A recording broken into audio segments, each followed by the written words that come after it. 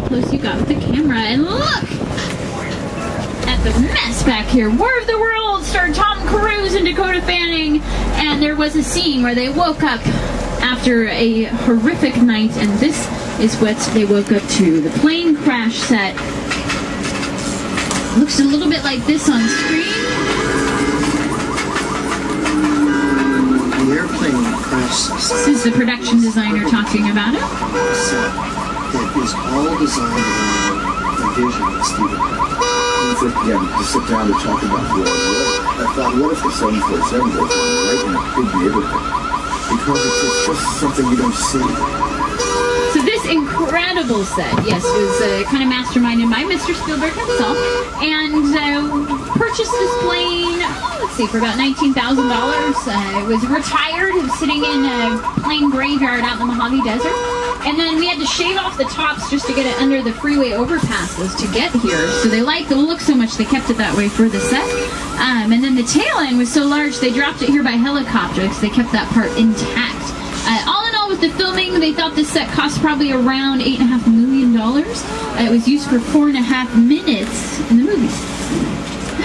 Lets you know uh, cost for some things now these days. Now these houses look like they're falling apart, but they were actually built this way. So this is what they started out looking like. Remember, I was talking about the metal shop. They're responsible for kind of propping up a lot of pieces of this set, uh, keeping it intact and looking the same way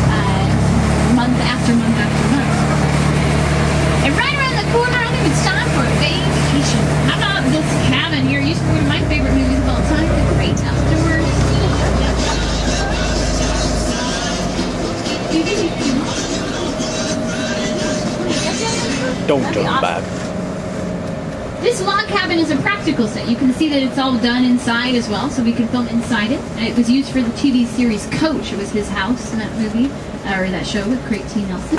But now it's out here, and what a view it gets! Uh, kind of nice wilderness area uh, with the uh, the ocean, uh, with this uh, what we call Falls Lake. Falls Lake is used a lot for movie finales. And I'm going to play a little montage here. This gives you some examples of what we can use uh, it for. It was first used, the backdrop anyways, for Jaws the Revenge. This is Jurassic Park 3. The Hulk, when we have it dry, we drain the lake, we can use it as well. The splashdown sequence in Apollo 13 took, took place out there as did uh, Van Helsing. Bruce Almighty walked on water, and George Clooney survived the flood, and her brother were on down. I love it when it's full because you guys can kind of get an idea for how we use it. So this blue screen we can either replace later on in digital production, or we can paint clouds on it. Uh, maybe we paint a sunset on it. Charlie's Angels, we drain this and put Lucy Liu's trailer out in front of it. And uh, that's a scene was shot out here where the trailer got shot up and uh, it actually looked like a backdrop uh, for that movie. Also for the Truman shows, we built this all the way up, and he bumped his boat into the back wall there. We built a staircase into it, and he says goodbye the end of that movie uh, in this backdrop as well. It is one of the largest freestanding backdrops that exist here in Hollywood, so uh, we can do major scenes out there, major ocean sequences without actually going in the ocean. Filming on water is really tough. And uh, if we can control that a little better, uh, we can add wave machines to that to really churn up the water.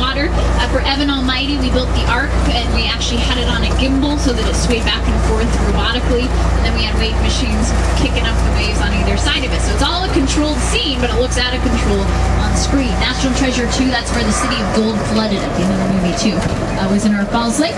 And in Indiana 4, that is where the temple went spinning into oblivion at the very end of the film. So they kept that under tight wrap. And guys, check it out. Great view here. We call this the overview because you can see just about every element of our lot here. Wisteria Lane on the right, our property department directly in front of us. A little bit of our uh, courthouse square that's left there in the metropolitan. Is that is that left. Wisteria just Yeah, see the blue house there, kind of the blue eaves. On the right, that's Wisteria Lane. Um, that's actually this.